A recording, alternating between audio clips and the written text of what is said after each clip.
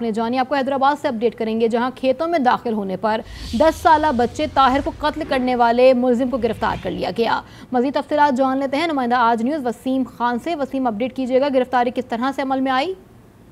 जी, बिल्कुल तीन अगस्त को इंतहाई अफसोसनाक वाक़ पेश आया था हैदराबाद के नवाई इलाके शहरी में, जब खेतों में दाखिल होने पर दस साल बच्चे को जमींदार ने फायरिंग करके कत्ल कर दिया था।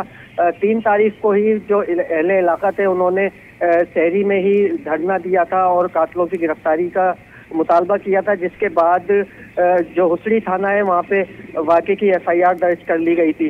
जो दस साल बच्चा ताहिर है, उसके कत्ल के मरकजी मुलजिम आगा जुबैर को आज हैदराबाद से ही गिरफ़्तार किया गया है। एसएसपी हैदराबाद आगा, डॉक्टर फरूख का कहना है कि मुलजिम को हैदराबाद में ही कार्रवाई करके गिरफ़्तार किया गया है, जबकि उससे जो है मजीद तहकीकत की जा रही है। जी।